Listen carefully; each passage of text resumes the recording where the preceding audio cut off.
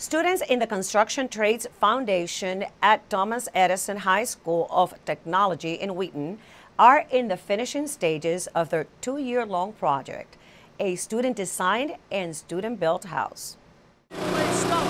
The Montgomery County Student Construction Trades Foundation was established in 1976, 40 years ago. So this is the 40th home designed, built, and marketed by students in Montgomery County, Maryland. You got to get your brush. That's the bottom. Currently, right now, we're in the uh, second phase of the house, uh, the second year of the house, and we're in the trim process.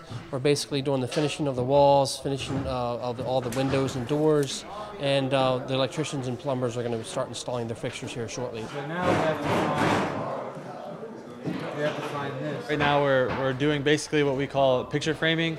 Um, we're just taking the trim and we're framing out for the window and then also putting trim around the window. And we're going to shim them and right now we're I'm in the process of getting it equal all around, equidistant from the frame. Still not tall enough. So grab another. This is all applied. When they're learning in the typical classroom, sometimes you kind of get lost in some something in some of the math calculations and so forth. Well, here they can actually apply that. So the applied mathematics is really a key concept to a lot of the construction trades because we're able to see and do, and I think there's a lot of the students actually learn more from that. This job gives me kind of that time that I would be getting being an apprentice uh, at, a, at, a, at a job site that I would be applying to. It's, it's great. I feel I'll feel very prepared when I go in. Did you push it up?